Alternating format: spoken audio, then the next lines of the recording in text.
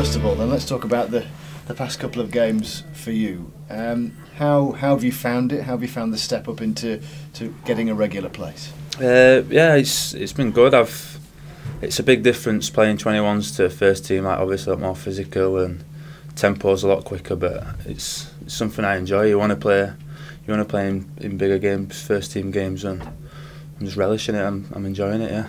You've been around the squad for quite a while now, so it's not a, a major surprise. But the fact that that chance has come, uh, almost were you not expecting it? Uh, in a way, yeah. Like it, I have I have been on bench a lot, and you, you kind of get a feeling you're not going to get a chance, kind of thing. But it's so quickly it happens. All it takes is a suspension, like Bash's or an injury, and you're in. So you just have to keep working hard in training, keeping fit, playing 21s games and then hopefully take your chance when it comes.